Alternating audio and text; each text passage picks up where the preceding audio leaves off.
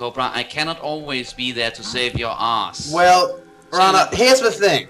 Yeah. Just as I told you, you need to just say, if you want trouble, I too will make a sound indicating that I'm in grave danger. As of this, however, I got four bodyguards and the ability to launch soul-searing missiles around. Alright. Just let me look through my gems right now. I shall be there in a moment. But, no, that one... what do I need with a helmet that only gives 6 in defense? Good question. Oh, hold on. I certainly can't answer you. it has been so long. That is one caravan who will not be traveling this oasis anymore. Did I see something down here? Oh yeah. There's one of those bloodhawks.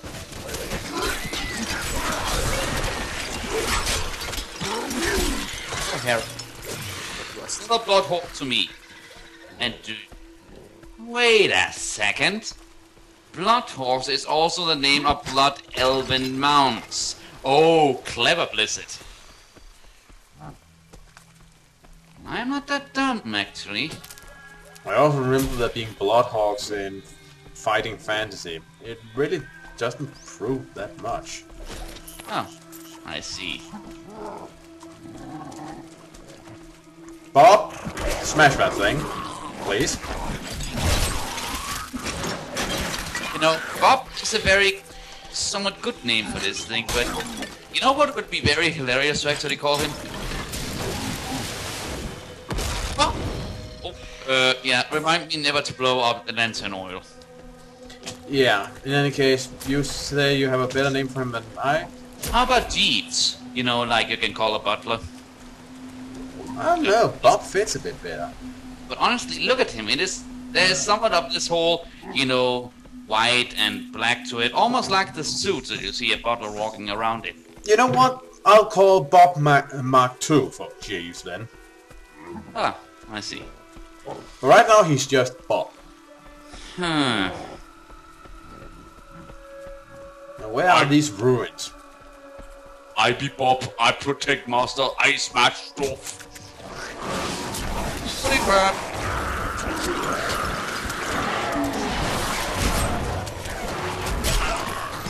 You want Mr. Lordy? Stop screaming. Well, it seems to be working for them, if nothing else. Okay, if you want a middle scream, here's the middle scream. Hi. Hi! I could have done that better. you tell me. Oh, I think I found the ruins. By the way, before we enter it, honest to God, Cobra, I want to hear your best imitation of a true, pure blood heavy metal scream, or shriek if you will. Why? Because I want to hear how good you make such a sound. Okay, um...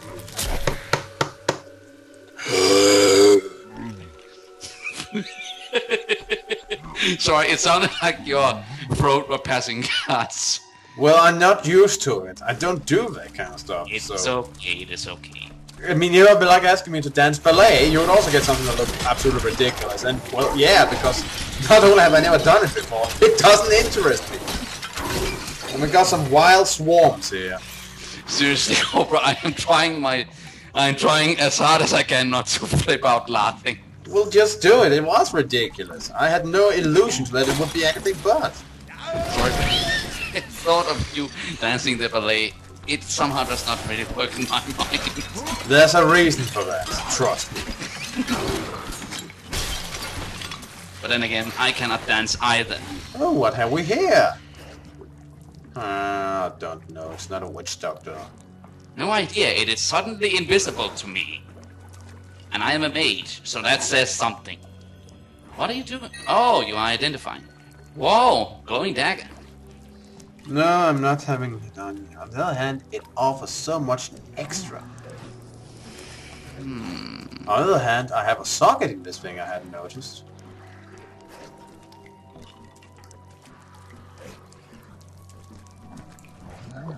Daibo. A weapon for monks. Oh! Sorry. Yeah, this is in fact better. But also to confess, I cannot dance either. I just have a good sense of rhythm. We'll take your word for it. And despite what you have told me in the past, Cobra, I can tell you 100% clearly that I can actually sing. Okay, we got some constructs that are chilling around over here. And I also looted the corpse of a dead iron wolf. So yeah, these skeleton constructs also know magic. That would explain why people would go to the trouble of making them. Hmm. I see. Oh wait, There's a dead villager with a thick chainmail here. To be honest, Bob sounds a bit funny. Bob's a very funny guy. Hopefully he is also a strong guy. That there can be no doubt about. Hey, freeze well.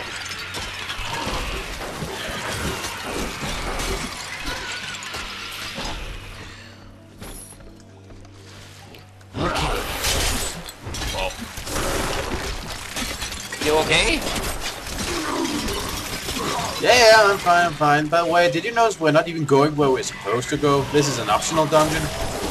No? Well, I'm just thought I would tell it to you. I'm just following you and watching you spread carnage. Well, true. I mean, we might find something good down here. I'm just... Like that kite shield that just popped out of that chest. Yeah, sure. Oh, by the way, watch out, there's eels in the water, and they're not mine. Oh, I can take care of it. And there's a chest. Thank you. And more kite shields. Dead villager. Nothing. You know, do you think the Lords of Hell are actually just watching as we basically march through their minions? Yeah, I at least believe they're somewhat informed about it, and I don't think they're happy. It's just a theory, of course. Yeah. But I I don't believe they're happy about it. If nothing else, they probably heard how we slaughter their soldiers, their loyal captains, stuff like that. By the way, have you noticed that when it comes to evil masterminds, you know, like infernal demons, every time that you hear about their glorious plan, you end up standing right in front of them, it is always, I always anticipated this. My masterful plan had you defeated. Yeah. but why are you standing in front of me right now? Yeah, Arthas did something similar. I think they're just boasting, trying to keep, you know, face up like, um, no, you didn't totally kick my ass over this long campaign and ruin every single one of my pl- plans. No, you, you see, this, um, this has all been part of my plan from the beginning. Yes, yes. You Yes. know, I need, to be honest here, I need to make a reference, but uh, Durin from the series called Chronicles of the Unknown Quest actually also made the whole thing about Your pitiful mind could not grasp then.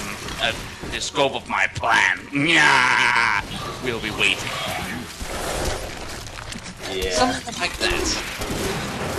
So maybe these megalomaniacs are not always that qualified. No, no, they're just trying to sound big. I mean, if you don't put anything concrete about it, just saying it's a grand plan, wide in scope, you're not really... It's kind of like if they're politicians, you know, saying things that sounds good, but they're not really committing to anything because they're afraid of, of losing face. It all depends on the motivation of the villain. For example, the Major of Hellsing. He is not really motivated by anything other than he loves war. He wants to see war in everything, and that is why he basically throws his minions out to die. You no idea what you're talking... I mean, I have no idea what you're talking about. Yeah, I know what I am talking about, but the short version is he wants to wage war and wage conflict all over the world. And that is why he does what he does. He is. I need to be honest, I think he is actually a horny for war. What an interesting, deeply motivated villain. I can sure see why people would like something like that. Yeah, but it is somewhat simple, and yeah, it is also. Not making any sense. I. I heard better motivation from all stories where there was this guy who believed in warfare, I can't remember his name right now, but he believed that civilization was cleansed in the crucible of war. The weakest elements of society were removed and burnt out in the purity of war, and thus he wanted to perpetuate war because he believed that that's where the hierarchy of nations were established, and all the weak and unworthy were extinguished. There's nothing so-called unworthy in my book, at least. The only way you can prove yourself unworthy is if you completely turn out to be a douchebag and asshole. There's no way to be unworthy in my book. You can, however, be unworthy if you do this and this and this. Uh, what? Okay, that deserves a better explanation. And Yeah, I mean, I, you probably you probably have a good idea of what you meant from the way you said it.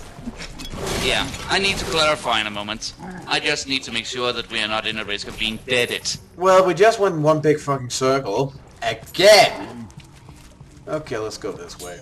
And that is why I should... Ah, hold on, give me a moment. We're really good at this whole circle thing. Well, I just discovered some new ponds.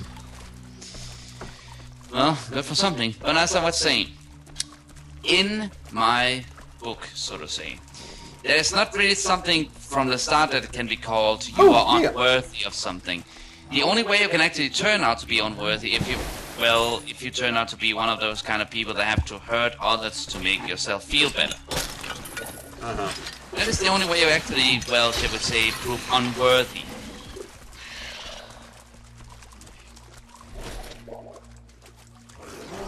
Oh, what have we here? Jackpot. Okay, what kind of jackpot? The good kind. Ah, I see. Health potions, gold, and something that sounds like it is crawling rush mines. I think that's Bob. Oh, I was about to say something in of the kind of no treasure without a guardian.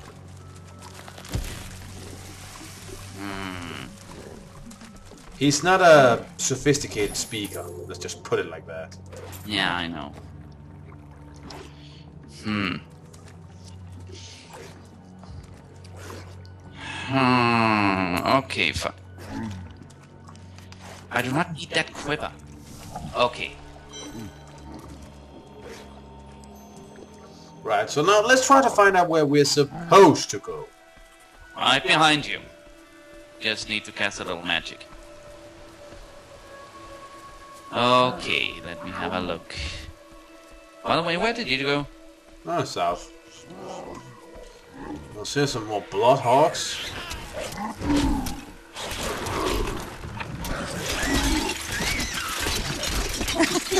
Okay, that was actually fucking hilarious. I might actually have something for you over here. It just turned out that old dude just basically flew in an arch over to me. Huh. Okay, and I have something for you here, I believe. I just need to find it. Nah, it was not this one. But, oh, there is something here. There is something here. The one thing I dropped was not the one. Ah, a white mask. Thank you. No, no, no, no, no. It was not that thing. This is the thing. It is a shrunken head. Well, it's worse than the one I got, but hey, thank you. At You couldn't know it is blue. Yeah, I mean, you couldn't know that. You don't have a overview of my stats. In this case, it is the thought that counts. Yeah. In the other case, you weren't really thinking. Yeah. I do not do thinking well. Okay. The bad thing about this is that it's magic very it's very very at least Alright, where's those... Where are those goddamn ruins? My god, we've been almost everywhere. give me a moment. Well, that's a checkpoint if nothing else. Give me a moment. I need to check the map. I know you're usually want to do it, but I think we are on the right track. We need to go down here, and there's a small area we have not investigated. And I think I'm... I know this sounds like a great risk, but would you mind following me for a chance? Well, the, there's a way over here we haven't investigated. That's a bit close, so we might as well just check over here first. That's all. Then you will follow me.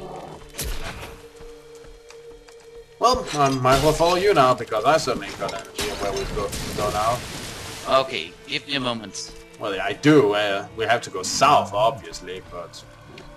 Alright. Just let me lead. And I will see if I can get us in the right direction. But we might as well check this one out here. But there's nothing. Or is there? Huh, no. I thought it was just a place where I could find some treasure, but there's nothing. And this is also a dead end. Yep. Hmm.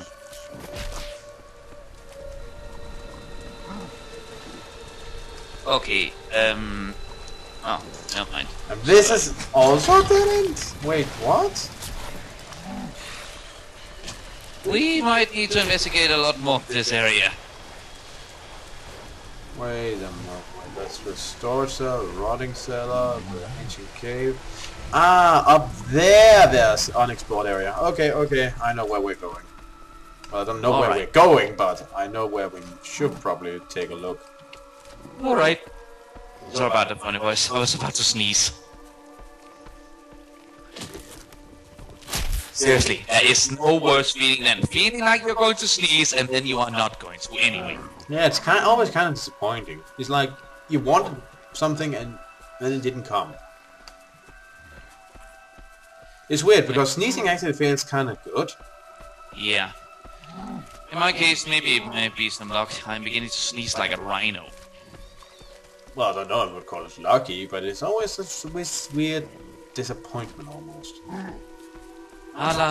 But it's probably because it's automatically a relief for the body to get whatever it is was bothering it out, so it feels good. Yeah. By the way, um, I also need to ask you in a moment about something. About the whole sneeze thing.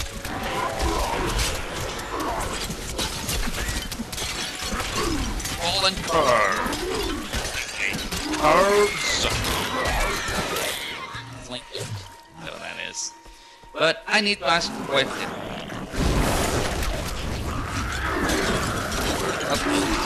In more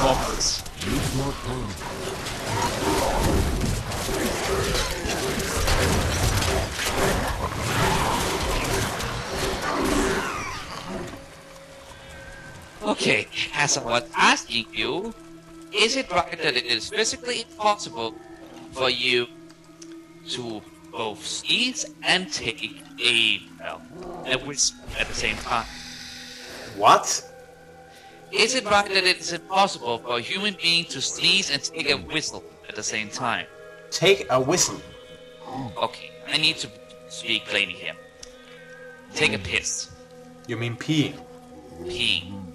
Yeah. Is it physically impossible for a human to sneeze and pee at the same time? You know, that's probably not something I tried to do at the same time ever, so I can't tell you.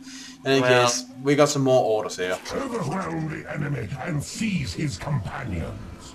There is a witch among them, and another, a girl. Bring them to me along with the Black Soul Stone. They will be searching for the head of Zoltun Kulle. Scour the oasis for it. Some old sorcery lingers on the skull, and it must be mine. Well, that explains why this place is so filled up with demonic goons. Yeah.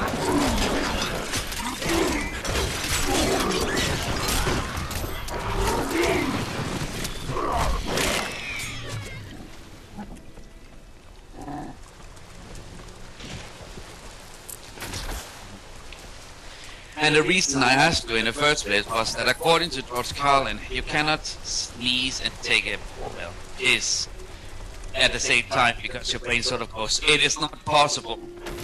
I wouldn't know. That's not one of the things I actually studied. Well, I Shall we basically, find Zoltun yeah, Kulle's head in here? So finally. the Forgotten Ruins.